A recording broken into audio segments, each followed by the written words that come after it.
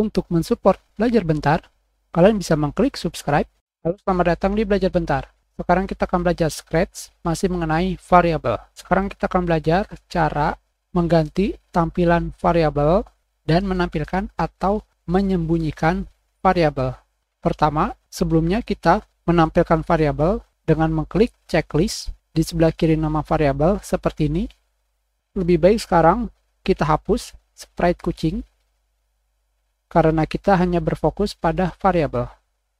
Seperti yang kalian lihat di sini, ini adalah tampilan awal variabel kalian, yaitu menampilkan nama variabel dan nilai yang dimiliki variabel. Ketika kalian mengklik dua kali, seperti ini,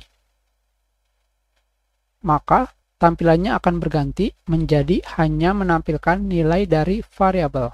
Ketika kalian mengkliknya kembali, Tampilan selanjutnya adalah menampilkan nama variabel, nilai variabel, dan slider atau disebutnya track bar yang bisa kalian gunakan untuk memberikan nilai atau nomor pada variabel kalian. Tentunya di sini nilai terendah atau nilai awalnya adalah 0. Kalian bisa mengganti nilainya dengan menahan klik kiri pada mouse pada tombol slider dan kalian tarik ke kanan nilai tertinggi atau maksimal adalah 100.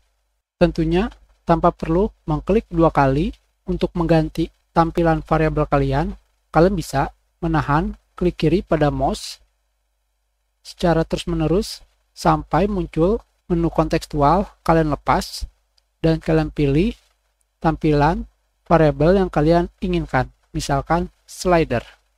Selanjutnya, kita akan belajar bagaimana cara menampilkan variabel dan menyembunyikan variabel. Tetapi sebelum itu, kita akan membuat sprite atau objek baru. Kalian pergi ke choose a sprite dan kalian pilih tombol seperti ini. Kalian rapikan. Sekarang kalian pindah dari tab code ke kostum seperti ini dan kalian pilih teks dan kalian berikan tulisan pada tombol. Di sini tulisannya adalah tampil seperti ini. Kalian bisa merapikannya dengan memilih tombol select untuk menggeser tulisan pada tombol kalian. Jika seperti ini, kalian bisa menggunakan tombol undo. Sekarang, kalian pergi ke sprite atau objek tombol, kalian klik kanan dan kalian duplikasi.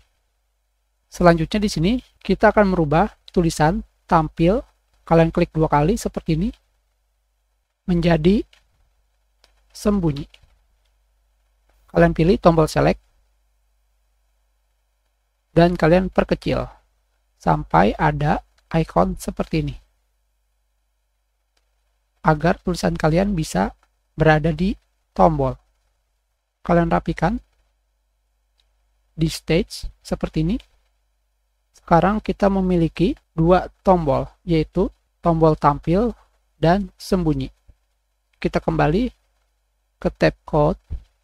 Dikarenakan kita sudah menampilkan variabel, kita akan memulai dari menyembunyikan variabel. Kalian bisa melihat di sini terdapat icon transparan ini berarti kalian sedang memilih sprite tombol sembunyi. Dikarenakan kita sekarang berada di grup variabel, di sini kalian bisa langsung menggunakan hide variable yang digunakan untuk menyembunyikan variabel. Tentunya di sini terdapat pilihan nama variabelnya yaitu my variable. Selanjutnya kalian pergi ke event, pilih when this sprite click ketika sprite kalian diklik seperti ini. Dan sekarang kalian bisa langsung mengklik tombol sembunyi. Maka variabel kalian akan langsung disembunyikan tanpa kalian perlu menekan tombol bendera. Dengan kata lain, tanpa kalian menekan tombol bendera, program kalian di sini langsung jalan. Selanjutnya, kalian pilih tombol tampil seperti ini. Tentunya kalian bisa melihat perbedaannya ketika sprite kalian dipilih akan terdapat warna biru Sekarang kalian langsung pilih ketika sprite ini diklik, kalian kembali menggunakan variabel di grup variabel dan kalian pilih show variable.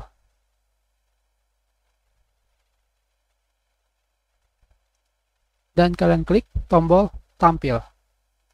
Maka sekarang kalian bisa menyembunyikan dan menampilkan variabel sesuai yang kalian inginkan. Tentunya tanpa kalian perlu mengklik tombol bendera, karena perintahnya ketika sprite ini diklik. Kita sudahi pelajaran kita, terima kasih. Kalian bisa memberikan komentar jika ada kesalahan atau ada yang ingin ditanyakan.